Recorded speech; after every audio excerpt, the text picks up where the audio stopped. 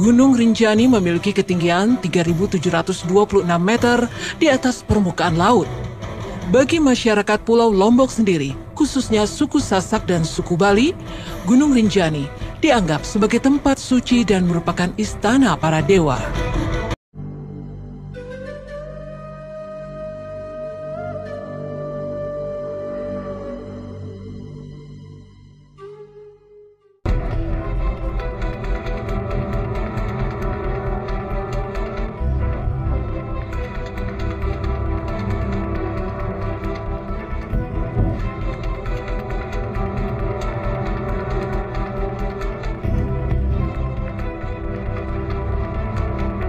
Bagi orang banyak, semua tempat pasti memiliki kisah mistis.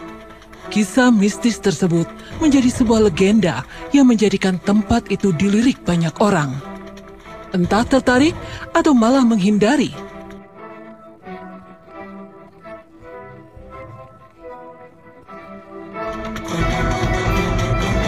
Misteri Gunung Rinjani Keindahan alam menjadi daya tarik semua orang untuk berwisata. Salah satunya gunung. Meski tidak mudah untuk sampai ke puncak gunung, tidak sedikit orang yang tertarik untuk mendakinya. Salah satu gunung yang sering menjadi destinasi mendaki adalah Gunung Rinjani. Gunung Rinjani merupakan gunung berapi tertinggi kedua di Indonesia. Gunung ini berada di bawah empat kabupaten, yaitu Lombok Timur, Lombok Tengah, Lombok Barat, dan Lombok Utara. Gunung Rinjani memiliki ketinggian 3.726 meter di atas permukaan laut. Bagi masyarakat Pulau Lombok sendiri, khususnya suku Sasak dan suku Bali, Gunung Rinjani dianggap sebagai tempat suci dan merupakan istana para dewa. Legendanya, nama Gunung Rinjani berasal dari nama Dewi Rinjani, Konon legendanya Dewi Rinjani merupakan putri seorang raja yang bernama Baginda Datu Tuan yang berasal dari kerajaan Tuan di Pulau Lombok. Konon legendanya Dewi Anjani terlahir berbeda, tidak seperti anak pada umumnya. Ia lahir dengan kelebihannya. Berkat kelebihannya inilah Dewi Anjani tumbuh menjadi sosok seorang ratu yang sangat sakti. Dengan kesaktiannya, ia mampu menguasai dua dunia, yaitu dunia gaib dan dunia alam nyata. Sehingga tidak mengherankan kalau Dewi Anjani selain memiliki pengikut bangsa manusia, dia juga menjadi ratu bagi seluruh makhluk halus yang bersemayam di Gunung Rinjani. Dan masyarakat Lombok setempat percaya bahwa Gunung Rinjani adalah tempat bagi Dewi Anjani menjadi penguasa gunung tersebut. Tidak jauh dari Gunung Rinjani terdapat sebuah kawah yang bernama Segara Muncar. Legendanya, kawah ini diyakini juga oleh para masyarakat setempat sebagai istana sang ratu. Dan konon legendanya, istana ini dapat terlihat dengan mata telanjang pada saat-saat tertentu.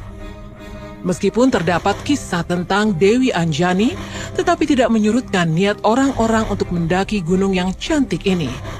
Di samping kecantikannya, Gunung Rinjani menyimpan berbagai cerita misteri. Mulai dari derap langkah pasukan hingga teror dari sosok perempuan berbaju putih yang kerap kali menghantui para pendaki. Gunung Rinjani memiliki danau yang bernama Segara Anak. Belum diketahui mengapa danau tersebut diberi nama Segara Anak. Danau ini juga memiliki gunung berapi kecil Gunung tersebut bernama Gunung Bau-Bau. Danau ini mempunyai mitos bagi para pendaki yang datang ke Gunung Rinjani. Konon legendanya, jika melihat danau segara anak terlihat luas, dipercaya umur yang melihat danau tersebut akan panjang. Sebaliknya, jika ada yang melihat danau segara anak ini terlihat sempit, maka mitosnya umur mereka tidak akan panjang. Di Gunung Rinjani juga terdapat mata air panas. Mata air tersebut merupakan mata air Aikalak. Konon legendanya mata air ini merupakan mata air yang dikeramatkan masyarakat setempat. Dahulu tempat ini dianggap dapat menyembuhkan penyakit. Namun banyak kasus kematian yang terjadi di mata air ini. Salah satunya adalah kasus meninggalnya pendaki yang berendam di mata air ini.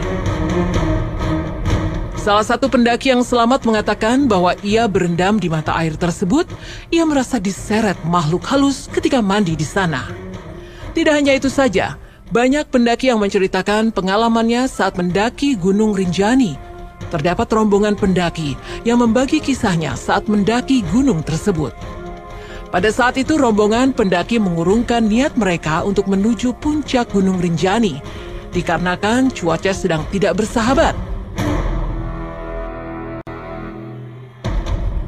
Saat mulai menuruni Gunung Rinjani tepat pada waktu maghrib, mereka sampai di pos 3 untuk beristirahat sebelum melanjutkan perjalanan ke pos bayangan.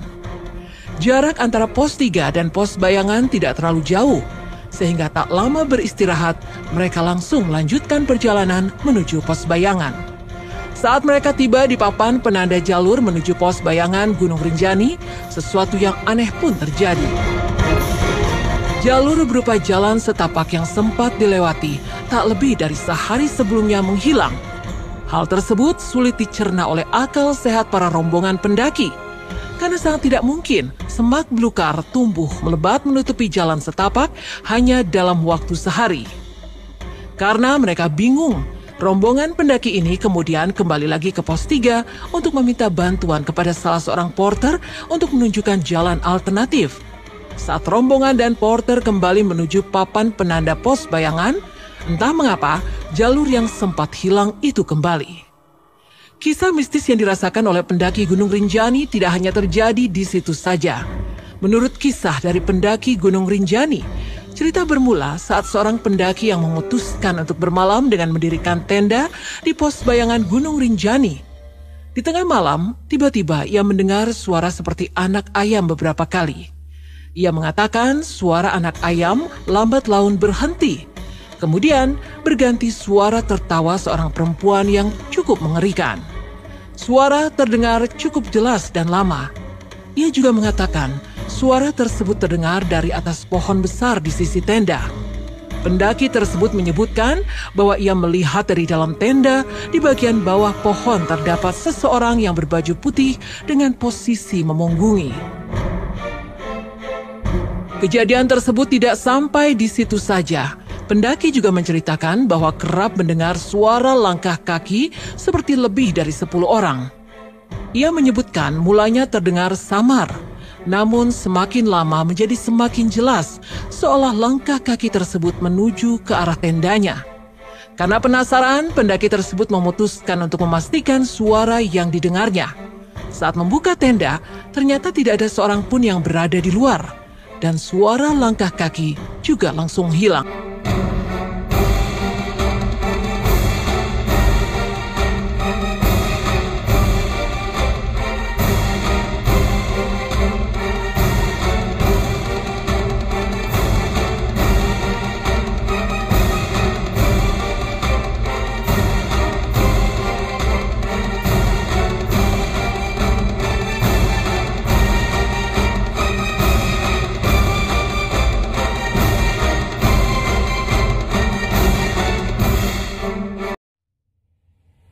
Tidak sedikit juga para pendaki yang mengunjungi Gunung Rinjani hilang.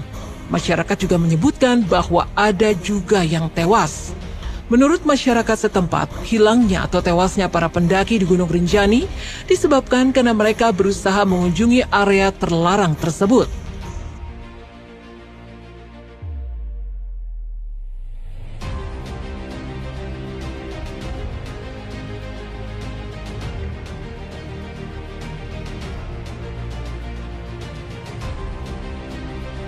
Konon legendanya di Gunung Rinjani terdapat beberapa tempat yang hanya bisa dikunjungi oleh bangsa jin dan tidak boleh dimasuki oleh manusia.